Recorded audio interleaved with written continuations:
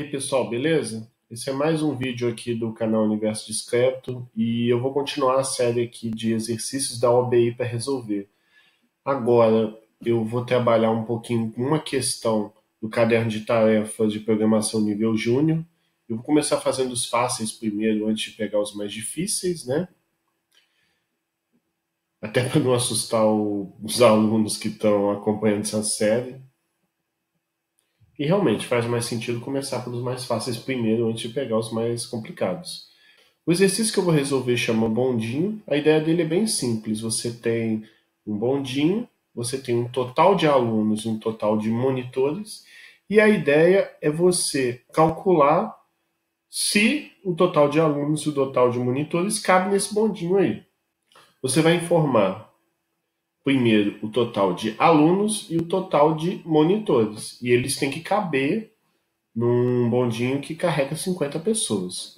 Então aqui você tem uma primeira entrada de exemplo: 10 alunos, 20 monitores. Cabe no bondinho? Cabe, porque 30 cabe no bondinho de 50, no máximo, né? Então a saída é sim. No exemplo aqui embaixo, você já tem uma situação de 12 alunos e 39 monitores. Isso dá um total de 51 pessoas que não cabem no bondinho. Então a saída é o N de não. E para fechar, você tem 49 alunos e um monitor. 50 cabe no bondinho, então a saída é sim, certinho. Vamos começar a programar aqui então. A gente começa com o stdio.h para a gente poder usar as instruções. printf, scanf para ler os dados, mostrar os dados na tela, esse tipo de coisa vou fazer no main mesmo, eu poderia fazer isso numa função, mas esse exercício não tem muita necessidade não. Então a primeira coisa que você tem que fazer é criar duas variáveis, total de alunos, total de monitores.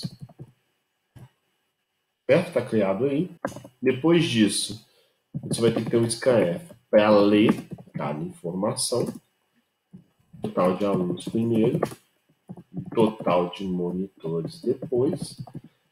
Só lembra, pessoal, que assim, é, quando você usa o SKF, o SKF vocês sabem, né? É, vem de Scan Format.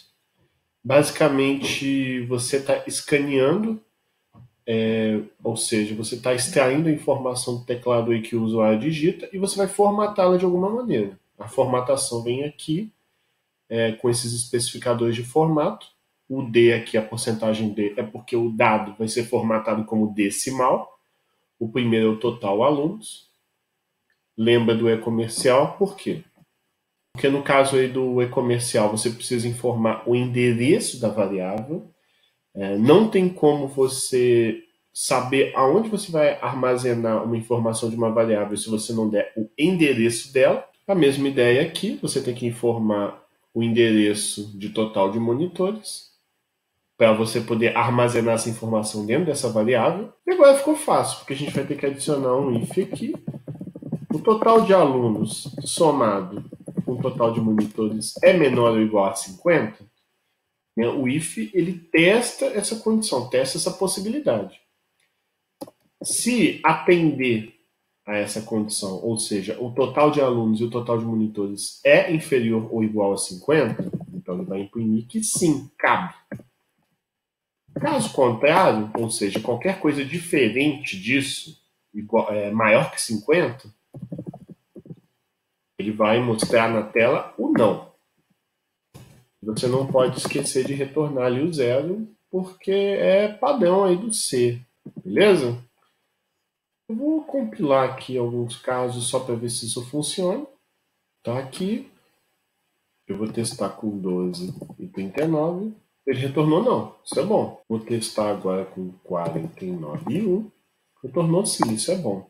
Para a gente ter certeza, nós vamos ter que testar aqui nesse site da UBI. A gente pode testar a solução de cada exercício, tá? Eu já adicionei aqui o exercício que a gente acabou de fazer.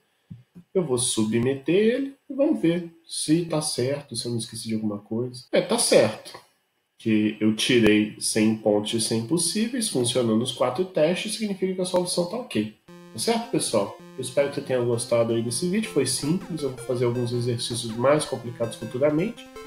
É, curta, compartilhe, clique em sininho, né? essas coisas aí que o youtuber fala. Tá certo?